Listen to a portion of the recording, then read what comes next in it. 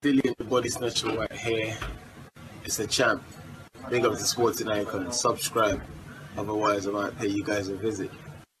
Right, to follow on from the previous two videos, the first one, of course, is the WBC Heavyweight World Rankings, the top 15, where Tyson Fury is currently king. And, of course, the other video where Anthony Joshua is currently king with the WBA, IBF, and WBO. I asked you guys, do you want me to do the Ring magazine? Because I did those other two videos just because they are the four belts that you need for Undisputed. Ring magazine, IBO, etc. You don't need them for Undisputed. But many of you said, do the Ring magazine as well. So here we go. Obviously, Tyson Fury is the current champion along with the WBC. Number one is Anthony Joshua along with the IBF, WBA, and WBO. Number two is Dillian Whyte, the WBC interim world heavyweight champion. Number three is Deontay Wilder, former WBC heavyweight world champion. King Kong Luis Ortiz in at number four. He's never been a world champion, but pretty good amateur. Number five, the former WBA, IBF, and WBO, IBO world heavyweight champion Andy Ruiz Jr. Number six, the former WBA regular world heavyweight champion Alexander Povetkin.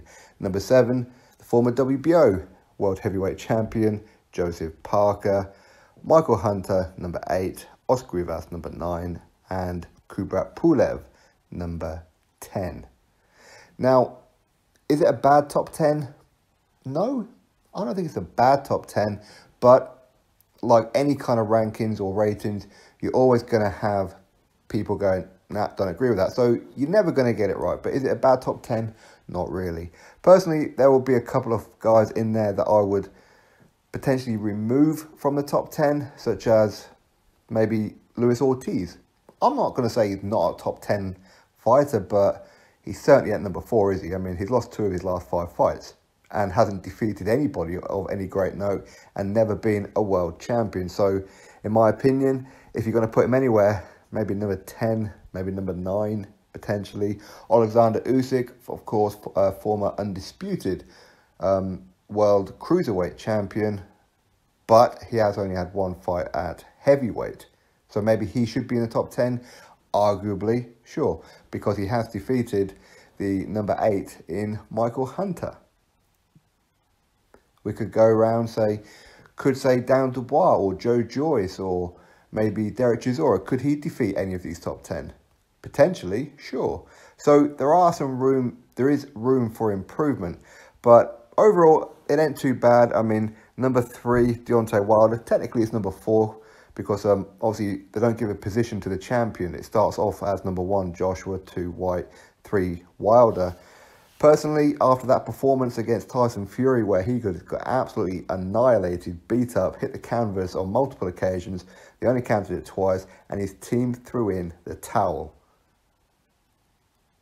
That, that's not warranting for a number three, in my honest opinion. And again, based on his resume as well, before he was champion and while he was champion even, he didn't really fight anybody of any great note and defeat anybody of any great great note. Unless, of course, you put Luis Ortiz, who's never really done, done anything himself up there. But could, for example, Joseph Parker beat Wilder? He could. Could Oscar Rivas? He could. Could Michael Hunter? He could. Povetkin? Certainly could. So, Andy Ruiz Jr., again, yes. Now,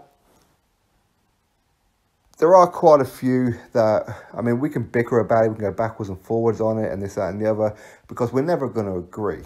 Okay, rankings are, for the most part, subjective, aren't they? Which is why I don't really do pound for pound, because it doesn't matter what pound for pound list you do, you're never going to please everybody. But I think overall, it's not a bad top 10, not necessarily in that order. But the most important part for me is Tyson Fury, champion, followed by Anthony Joshua, followed by Dillian Whyte. The top three are all Brits. For me, that's great. Now, and I ain't going to argue with that, even in that position. If you think that Tyson Fury is number one in the world, cool. If you think number number one in the world is Anthony Joshua, cool. You think Dillian Whyte could beat either of these guys? Sure, why not? Personally, I want to see a round robin between Fury, Joshua, and Whyte. That's what I want to see. Anyway, Those are the rankings. Drop your thoughts below about it, click thumbs up, subscribe. Catch you all on the next video.